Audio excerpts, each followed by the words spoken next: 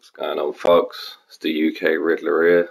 Put a face to the name. Got that the right way round. Anyway, got a couple of epic fails coming up. Not my fails, fails on Battlefield's half.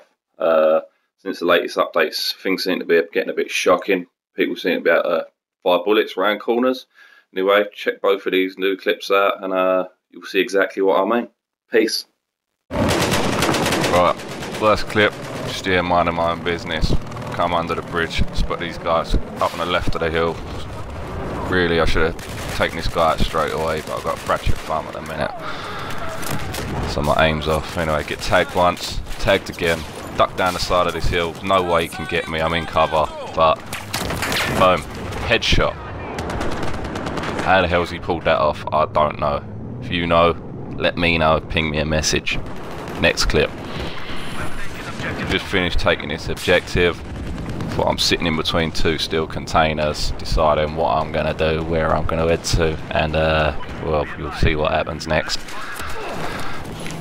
I get shot from behind with a headshot, but my guy's all the way down there. Please enlighten me.